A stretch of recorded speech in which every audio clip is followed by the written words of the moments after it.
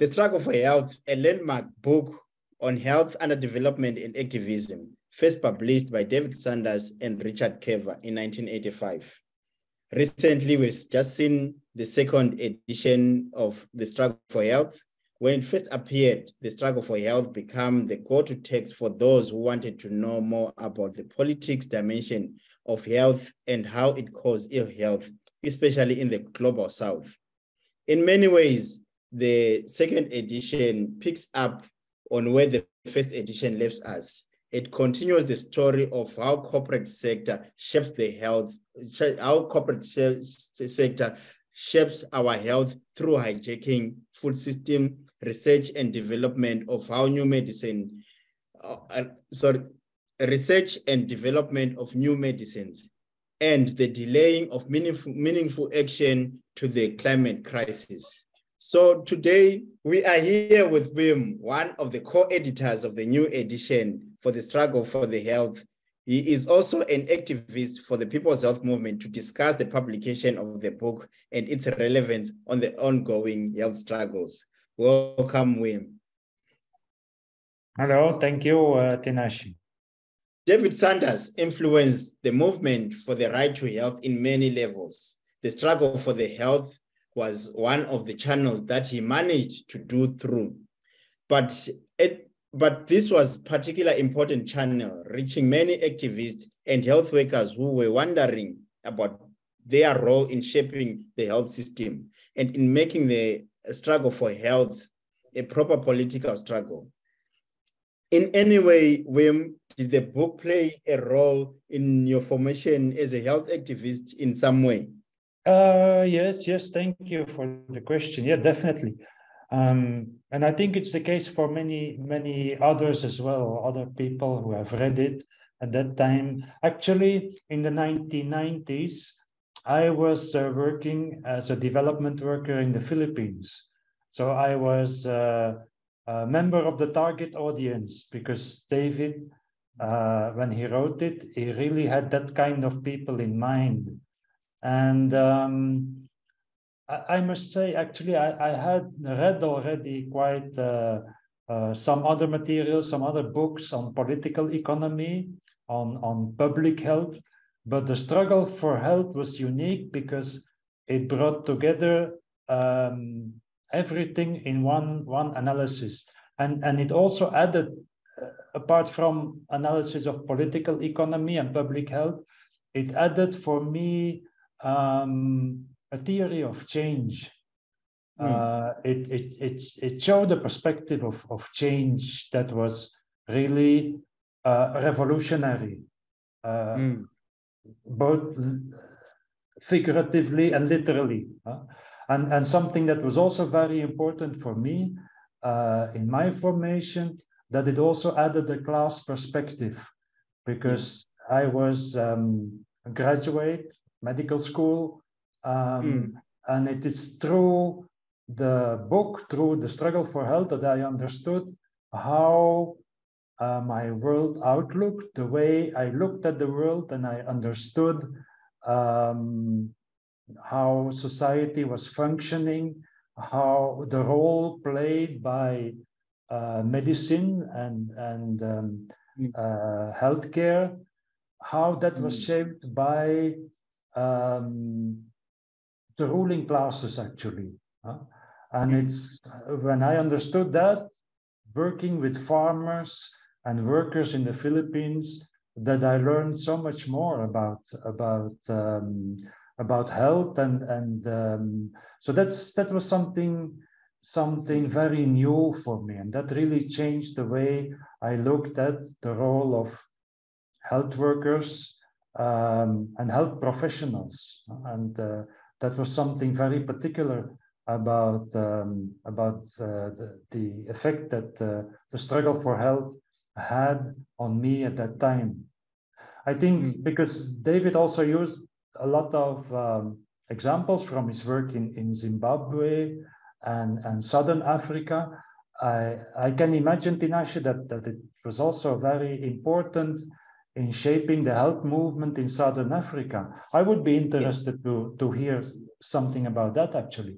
it's, it's, it's quite important the role that David, the legacy that he left, which is still living, you know, uh, the fact that he, he, he, his work touched on the lowest, on the grassroots, people who are right on the grassroots, people who are in the middle kind of a level, and those who are the the the the the, the, the, the, important decision makers. So he, his work was quite important in the fact that it was a cut crossing kind of work that speak that that speak volumes to all those levels from from from from from, from, from the community health care worker to from I mean not even from the community health worker from a parent himself from a parent him or herself community health care worker a doctor a nurse a student and influencing also the political um, uh, um, I mean the, the political heads the policymakers so uh, uh, Wim, quickly,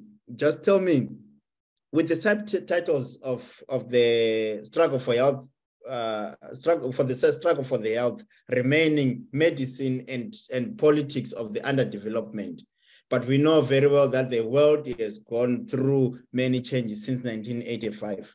While we were working on this new edition, how did you see the underdevelopment change over these decades? also and tell me how do you find David's perspective from the first edition uh, fitting into the into this uh, changed landscape of uh, many many years that we since we have seen the first edition. Yeah, it was 1985. So indeed, it's, 1985 uh, years. It's almost uh, uh, 40 years. Um, yes and and it has been we've been discussing a lot with David uh, when when we started the project, and that was one of his questions also. Is it still relevant? This book? Huh? Is it is this analysis still relevant? He, he asked me over and over again, and we discussed that um, for hours actually. Uh, even even the terminology is it still relevant?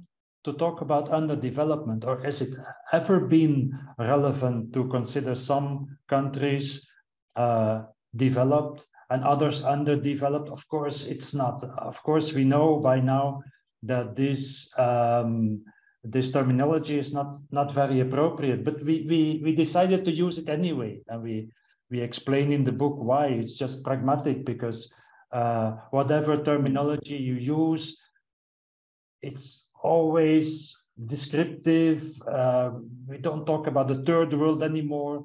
Uh, we can talk about the global north, the global south, or, or use other euphemisms. But uh, mm. actually, as long as people know, we were very pragmatic. As long as people know what we're talking about, uh, we can still use uh, development and underdevelopment as, as terminology. Mm. And, and um, what changed? Actually, we only had to add uh, one uh, one chapter to the book. Uh, so we used the exact mm. the very same uh, outline with the the same mm. chapters, but we decided to add just one chapter, and that is um, a chapter on health policies um, under uh, neoliberal globalization. So, and, and in that chapter, we describe how uh, things evolved since the 1980s, um, how the, the, especially in, in the global health, uh, David, for example, in 1985, he talked about about uh, Alma Ata, of course, about the uh, primary healthcare movement, uh, community health workers, uh, and how important um, that was to, to change uh, medicine and change society. But um, we had to describe how this whole um, uh, primary healthcare movement evolved towards more selective uh, interventions. Uh, we also had to describe how the, the whole aid industry and the, the philanthro capitalists uh, were capturing uh, this global health uh, scene. Um, mm. But at the other hand, we also, in the same chapter, we also talk about uh, the renewed um, attention for, for health as a, as a human right. And also mm.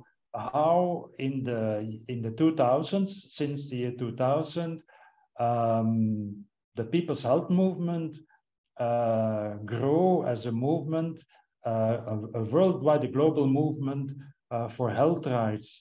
So I think that that's the the, the main trends uh, we had to describe uh, since 1985.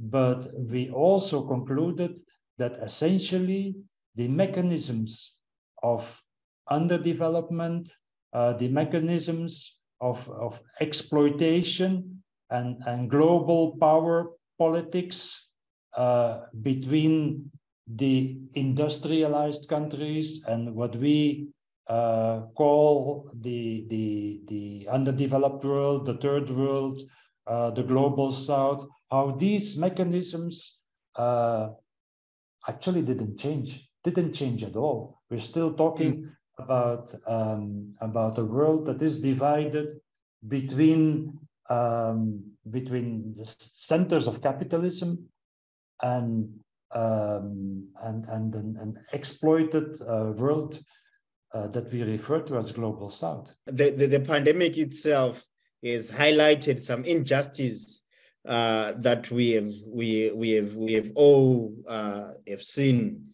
and also it is also exposed how weak, especially in the global south, our health system is. What do you think could be some of the David Sanders thoughts if he was to be present during the COVID 19 pandemic? Unfortunately, David passed away in 2019, and that was just a few months uh, yeah. before the, uh, the the COVID pandemic the, um, broke out and and and, and um, so many times actually we asked ourselves that question uh, how would he um, how would he analyze? But uh, actually, he would have analyzed it just like he analyzed the, the AIDS uh, epidemic. And you know very well, probably, uh, how he was able uh, to describe the social and social and economic uh, drivers of the pandemic. He was able to explain that the pandemic was fueled not just by a virus, uh, but by the social and economic injustices and, and the, the power relations uh, within society. That was the real driver behind the AIDS uh, epidemic. At that time, that's how we explained it. So I think he would also have been the first one in uh, January 2020 uh, to analyze the COVID pandemic as uh, actually an, an, an, a pandemic of, uh, of global um, injustice. We know how useful was the first edition. Uh, I mean, everyone adopted it as a sort of a field and research work guide among health workers, among, among health activists and academics uh, all over the world. How do you anticipate, how do you think the, the this second edition will, will be used? Well, that's of course hard to say because there's there's there's many other books today about about global health, about um, about social determinants of health. I think there's much more uh, material available, huh? but um, the the new book, The Struggle for Health, uh, second edition, is available open access uh, online, so everyone uh, can read it for free, uh, can download it um, can use the illustrations. Uh, and that's that makes it that makes it extra exciting of course. That makes it very exciting because it becomes very accessible. Uh, and it's available for everyone with an internet connection um, today um, as i said a difference with 1985 today we have a global movement we have the people's health movement we have a global movement for health rights um, for, for the right to health. Uh, and I hope that many of those activists, uh, if they have an internet connection, um, are able to access it and, and use it also in their uh, activist work. So in that sense, I don't think it will make a big difference. I've heard uh, anecdotes about, about uh, the first edition being Xeroxed and then Xerox copies being used uh, by by um, um, medical uh, students or uh, health activists in poor countries. Uh, today we can just download it. So I think it will be as useful as the first edition. And mm. we invite, that's how we end the book as well. we invite um, everyone to join the struggle for health. And we hope that just like the struggle for health was David Sanders' life, uh, we hmm. also hope uh, that it may become the life of many more people actually. So it's mm. only if we struggle together collectively uh, for health that it can become a reality. Thank you so much, Wim. I mean, thank you so much for re-evoking the spirit of uh, Comrade David Sanders. Uh, in South Africa, we say Amandla, long live the spirit of Comrade David, long live. Uh, and congratulations on such a uh, successful uh, project and we hope that is going to inspire and touch a lot of young activists both in the global in the in, in, in global north and global south thank you so much thank you amandla awetu me too.